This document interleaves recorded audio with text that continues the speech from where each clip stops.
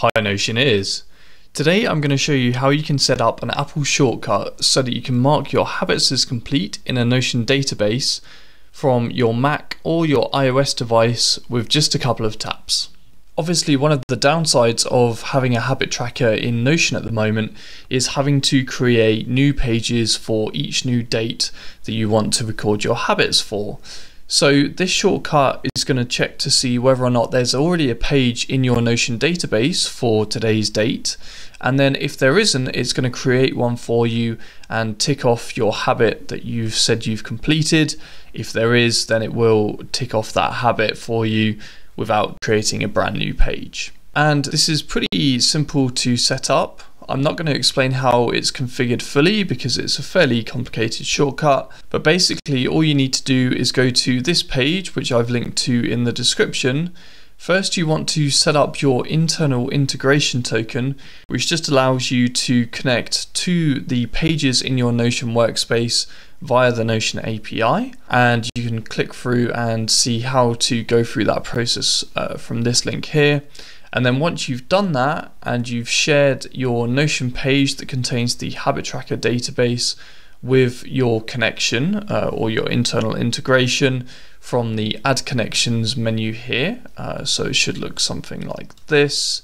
To copy the shortcut itself, you can just click on this link right here. And that's going to open a page in your browser. So if you click the Get Shortcut button here, the first thing you're going to see is when you click Add Shortcut, is uh, these two sets of setup questions. So you just need to edit this list of habits and replace it with whichever habits you're going to be completing. You need to have properties in your Notion database with the same labels as their names. So make sure that they match up, including the uh, case of the habits. And then you also want to enter the details about your copy of the template or your database. So you need the database ID for your database. And if we go back to our database here, we can get that by clicking the six dots here. Uh, if I paste the link into here, we just want the ID that's in between the question mark there and the name of our workspace. So I can copy that there. And then I just want to paste that into the value column there. You need your internal integration token, which you would enter here.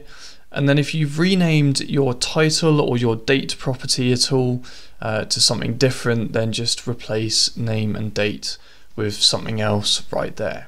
Then you can click add shortcut if we go into here, we'll see those details that I've entered have fed into uh, this dictionary entry here. And obviously if I'd changed any of the list here, then that would have fed into my shortcut as well.